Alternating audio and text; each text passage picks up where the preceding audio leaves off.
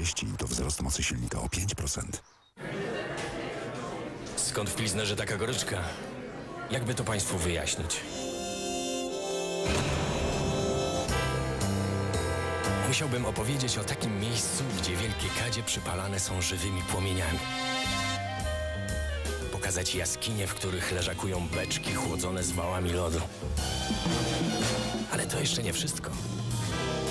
Wreszcie musiałbym rzucić się w otchłań historii, bo tam zamiast mętnego, słodkawego piwa powstał krystaliczny, goryczkowy pilsner. Tylko jak to zrobić, żeby nie uronić ani kropli? Pilsner Urquell. Kwestia smaku.